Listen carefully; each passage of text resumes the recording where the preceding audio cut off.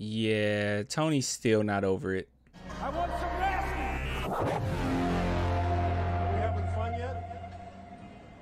Your boy Tony Parker is not over the 2013 finals, and I I don't know if I am. Uh, so we're gonna talk about this. Tony Parker actually had a message for the Boston Celtics, and he focused in on the 2013 uh, San Antonio Spurs. So there's a huge difference there, in my opinion. In my opinion, but we'll we'll talk about it nonetheless. Now, before we do, really quick, you want to support the channel, clanthemerchfan.com, link in the description for that. I'm going to have way more designs soon. I'm also going to add, just so you guys know, pink, pink shirts. Okay, I'm going to add that. I have a new design coming, um, and I'm going to go live when I drop it because I, I need something from you guys. Like, nothing monetary okay? Like no no money or nothing. Like I, I just need something for you guys but just look look look just pay attention all right? When i say that i'm about to go live please go live with me because I, I do need your guys um, help on something. All right so let's go ahead and dive into this. Tony parker's message to celtics after 2022 nba finals loss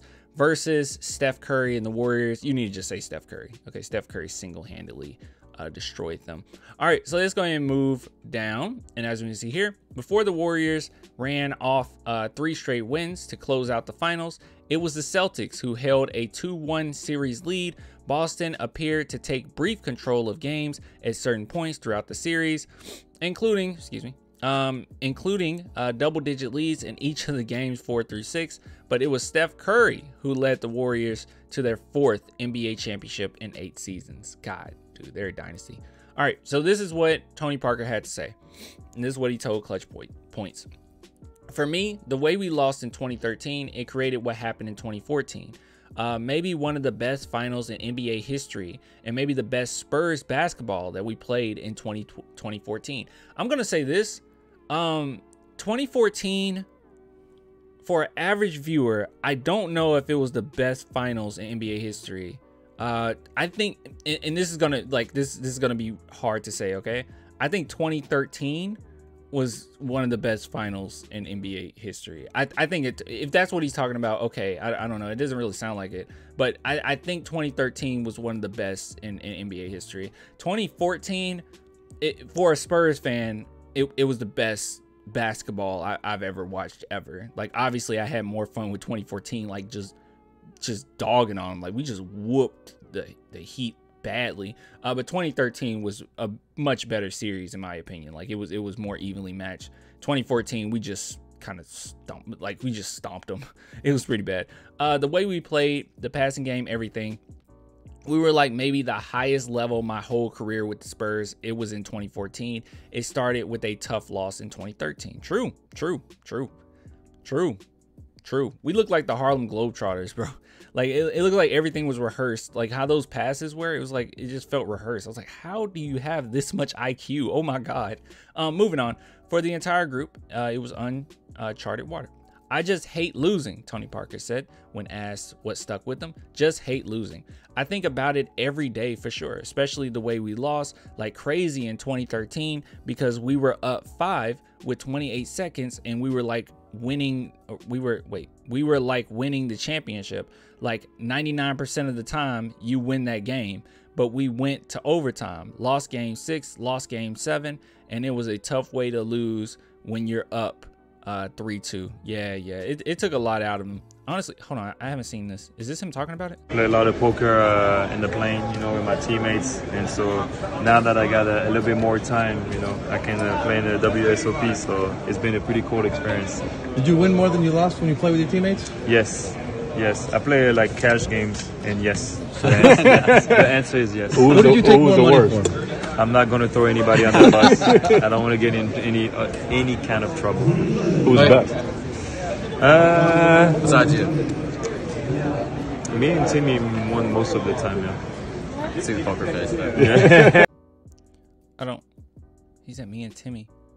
He's not talking about Duncan, is he? Duncan does poker? Guys, I, I have not kept up with, with the OGs. I have no idea.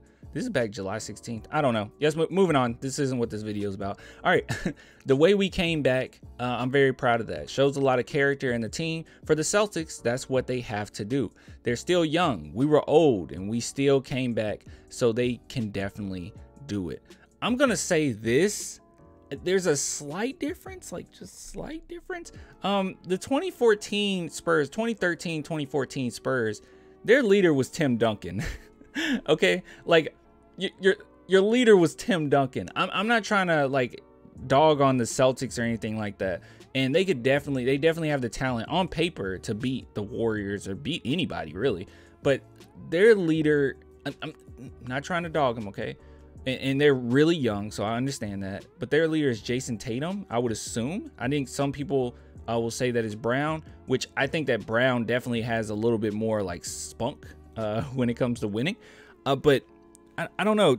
Tatum, I don't know. I, it's it's possible. Don't get me wrong. It's possible uh, for them to come back the way that the Spurs came back. But man, you need that leadership there, and you, Jayson Tatum's gonna have to step up. And they've already talked about like possibly trading, or at least they inquired about it, trading Jayson Tatum uh, for KD. So they they've the Celtics are not afraid to at least explore some things. So I don't know. I don't know. I don't know. I'm, I'm pulling for him though. Obviously, Derrick White on the team. I'm, I'm pulling for him.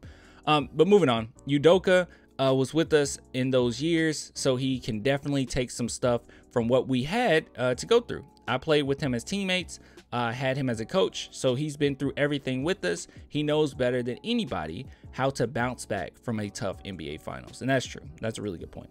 It's amazing. It's not easy in Udoka's uh, first year to go all the way to the finals.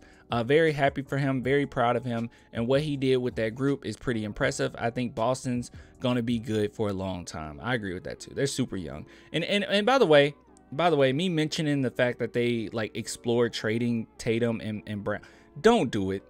Don't do it. I, I, really hope that the Celtics don't do it. That would be so dumb. Don't do it. I, I think I think you ride it out. Okay, you ride it out. All I'm saying is having a comeback similar to 2014, man, you got to be on your stuff. Like that that team was ridiculous. It, it was. I, I, know it's it's not this. It's kind of weird because we don't have this feeling anymore. But back in the day, man, I, I, remember, and it's weird saying back in the day when we're talking like 2013, 2014. But back then, you just kind of expected to win. Like I watched every single Spurs game um, and sometimes I would turn it off in the thirds, like, ah, I'm gonna go do something else because I just knew we were gonna win. Like, it, it, I don't know, we, we don't really get that a lot um, anymore. Hopefully, we can get back to those winning ways because, yeah, you just kind of expect it to win. But I don't know, we'll see what happens. All right, uh, yeah, this video's over. Okay, I have nothing else to say about it. Um, Tony Parker. Uh, it, it, looks like he is trying to give some type of encouragement uh, to the Celtics. And hey, maybe they need it. I don't know. Um, if you guys want to support clanthemerchfan.com or become a patron, a YouTube member, uh, link in the description. Only $2 per month. I'll give it to you guys later. Until next time, deuces.